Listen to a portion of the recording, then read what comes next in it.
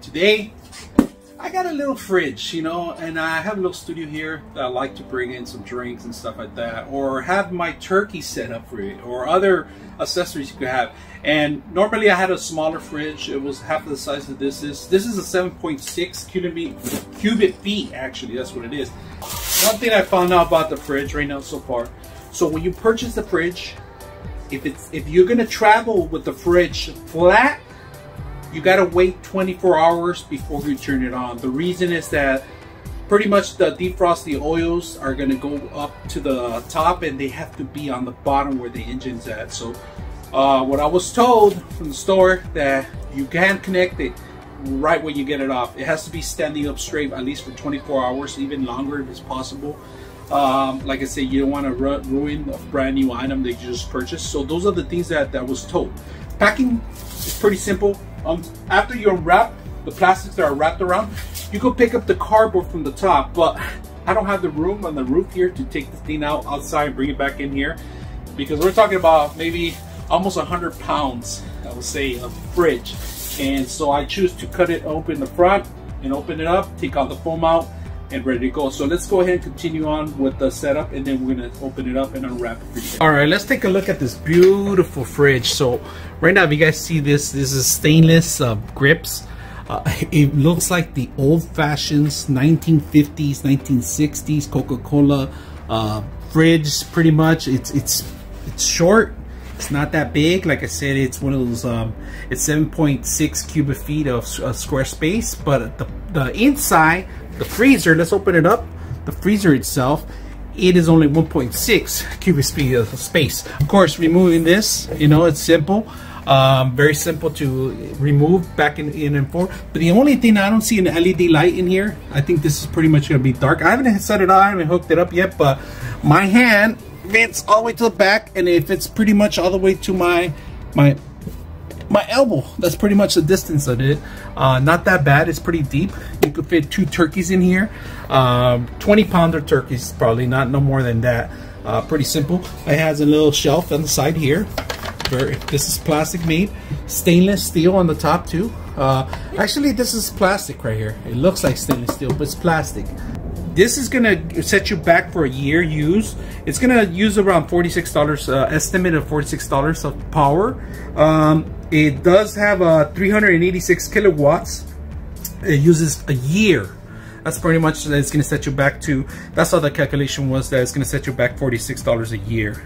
So not that bad. Um, it is, let's open the the bottom part now. So we're going to open it up. And this one doesn't have a, a push button or anything. It's pretty much open it and close. There is an LED light in here that we're going to connect. We're going to set it up. Um, controls for the freezer and the air uh, for the not the freezers, but the actual fridge itself. Now I didn't see that in the freezer. There is no controls for the freezer. That's a weird one, but this is only the fridge part, and we haven't even set it up to actually light it up. This is a little safety mechanism that turns off and on the light pretty much by, it's a simple mechanism that just, just close the door and it just closes it up. Um, shelf space, it has sections, one here section, two, three, four, five, and this is like, you can move, but this is glass, very simple. Um, it has grips in the back. Uh, the bottom part, if you guys see the bottom part, let me zoom in a little bit out.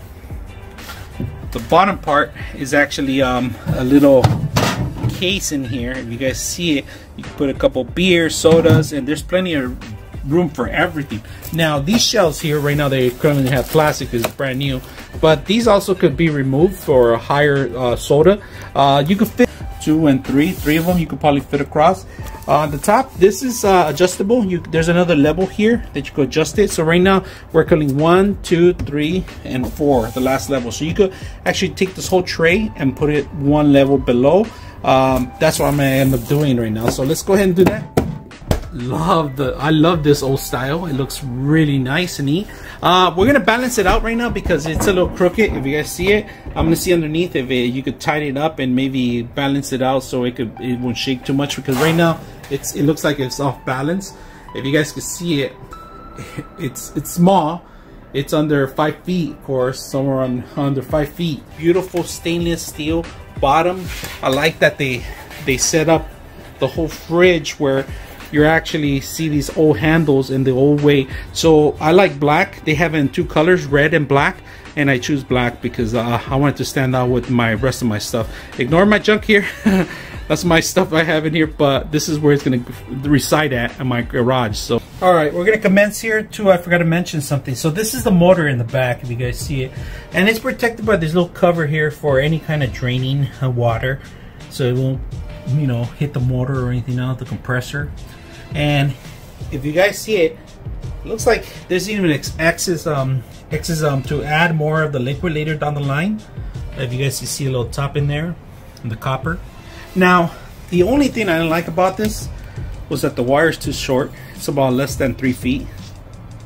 Uh, so if you want to connect this, you're gonna have, you're gonna need an extension for this for sure, 100%. But other than that, it's not bad. Underneath of it, there's some little rollers that you could actually twist so you could balance it out and have it balance to um, zero out. Of course, you want to do that too because, like I said, if you're gonna close the door, you can have an issue.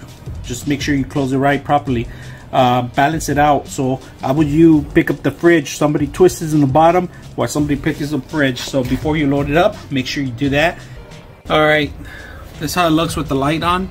It's not an LED light, which uh, I'm a little disappointed because it would last a little longer. So it is a light bulb. You have to buy a little tiny one. Uh, overall, I was able to adjust these uh, trays.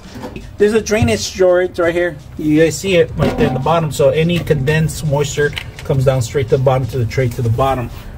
So you guys can see it, this is fully loaded right now. I got maybe four packs of juices for kids in the bottom. Um, uh, 30, 36 pack I think is for the Sprite. And they also took some of it. And then there's 30 pack of uh, minis, so Coca-Colas. If you guys can see it, it's condensing real quick. It's getting real cold real quick. And I just plugged it in a couple minutes ago. Um, plenty of space for the minis on the top. Um, here you will put you could put regular size um, sodas and uh, of course extra sp space. Um, I have so much space that I had to actually I'm gonna start moving some of the stuff on this side so I can balance maybe the weight on the thing, which makes a difference because um it's it's it's already heavy as it is, but it's going there. And I put a couple things in. Uh, no room for water in this one because I didn't have no waters right now. But we're getting ready for Thanksgiving, of course, and and these are going to be gone by the end of the day. So just to give you guys a heads up and see how you guys think, and you guys can see it fully loaded. The only thing I like about it, but the fridge, it's balanced out, and it won't move no more. So